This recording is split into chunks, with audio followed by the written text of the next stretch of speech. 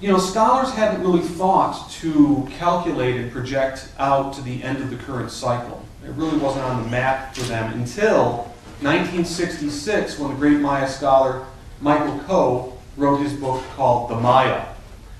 Now, I'm going to tell you something here that's probably politically incorrect or at least academically incorrect uh, because you know, there's a lot of hand waving among the scholars now talking about all this craziness in the marketplace, and they're being called upon too, you know, for interviews with the media to talk about the uh, 2012 date.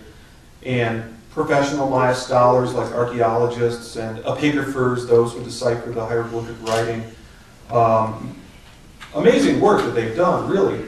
But the tendency has been to attribute this 2012 doomsday meme to, as uh, David Stuart, famous epigrapher, said, to New Age hacks. Uh, it is pretty easy, you know, there is a tendency to sort of think that 2012 is just an invention of the New Age marketplace or something like that. Uh, but no, it's an actual artifact of the tradition. The fact is that it's in Michael Coe's book, The Maya, where you find the first association between this 2012 cycle ending and doomsday he languages it in terms of Armageddon and apocalypse. And, and everything kind of came out of that. In, in 1975, Frank Waters wrote a book called Mexico Mystique, and he dealt with it. Uh, he actually used uh, Michael Coe's calculation uh, for the date, which was about a year off. Um, uh, and so I've been very interested in the whole story of this movement, of this idea, this unstoppable idea.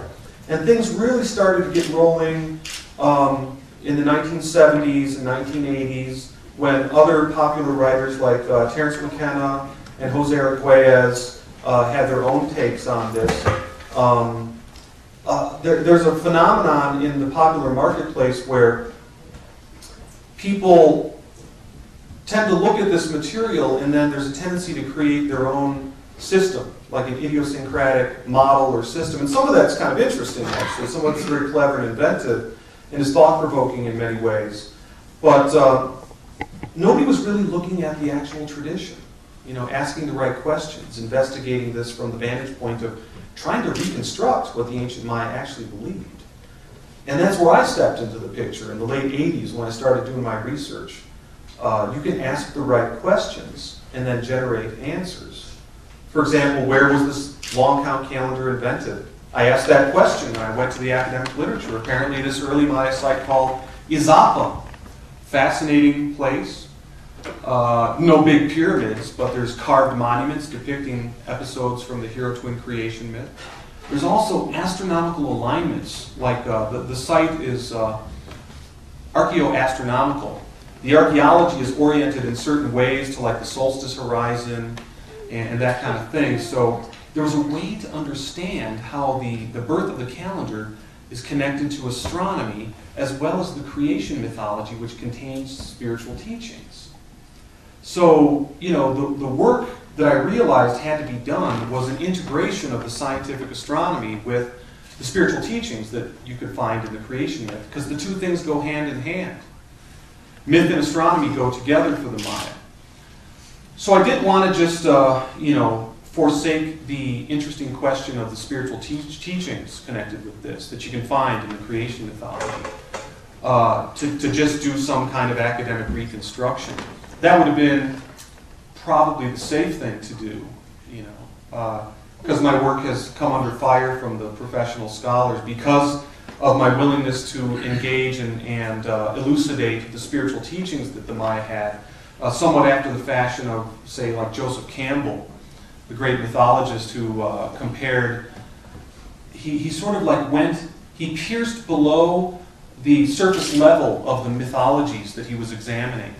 And so, you know, on the surface they appear to be sort of culturally relative, quaint fairy tales of various people. You have different deity names for this, that, and the other thing.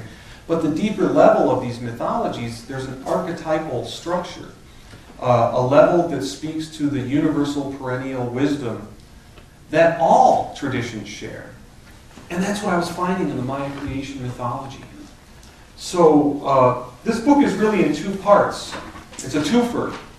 Uh, the first part does go into the story and the history and, and telling the story of, of the whole evolution of the 2012 calendar and then how it was taken up by popular writers in the 70s.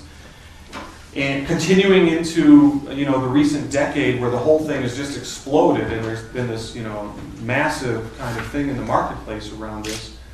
Um, and uh, I've, I've been interested in providing clear uh, sort of assessments of a lot of these theories. Uh, you know, because I think that a lot of them sort of are, are uh, not well, not very well supported. You know, so for example, you have the uh, the Nibiru planet. Okay, like uh, we could talk for an hour about this, but this idea that there's a lost planet out there. I've actually looked at Zecharia Sitchin's work with this, and it seems to me that he's uh, examined these cuneiform tablets and he's found this uh, decipherment that deciphers to mean uh, invisible planet. It's there in the cuneiform tablets. What is the invisible tablet? Or uh, the invisible planet? Well, if you look at the astrological doctrines, it's the lunar node. It's the intangible point where the solar path crosses the lunar path, indicates where eclipses can occur. And this point uh, processes around the zodiac and de- determines where eclipses happen in, a, in this large cycle. So everything's there. You know, you have this invisible thing that moves around and comes close to the sun every once in a while, and then disasters occur. You know, eclipses were thought to be disastrous events. But it seems to me like uh, Sitchin interpreted this literally, and so then it got turned into this actual literal physical planet out there somewhere beyond the solar system that swings in every once in a while. Uh, so there's a tendency to over literalize one's interpretations of ancient metaphysical teachings or astrological teachings. And this happens a lot in the 2012 discussion. And you know, the original theory wasn't even connected to 2012. So somebody thought, oh, let's see, uh, you know, the Nibiru planet in 2012. Let's put them together. It's like the Reese's Peanut Butter Cup or something. And, you know, it was a great idea and they ran with it. Um, so there's things like that that I think need to be called out, you know, because uh, a lot of these things are also tied to doomsday. So we just need to have a really clear idea of what the marketplace does with these kinds of things. And, uh, you know, so if you go out into the Google sphere, you can find that, uh, you know, a huge percentage of what's out there on 2012 is, is really misleading. There's a lot of misconceptions out there. But we can't throw the baby out with the bathwater. You know, there's a tendency then for people to look at that and say, oh, the 2012 thing is just like Y2K, it's like just a hoax, it's a hoax. Uh, well, I find that to be sort of disingenuous. You know, 2012 is a true artifact of the Maya calendar tradition. And, you know, I've been engaged in this reconstruction for 20 years. I found real things involving astronomy and spiritual teachings. Uh, and there's actually a lot, there's new evidence right now that supports this idea that I put on the table 15 years ago, and it involves uh, this rare astronomical alignment that culminates in the years around 2012. I'm providing so many spoilers here. You still have to buy the book. Um, so, uh,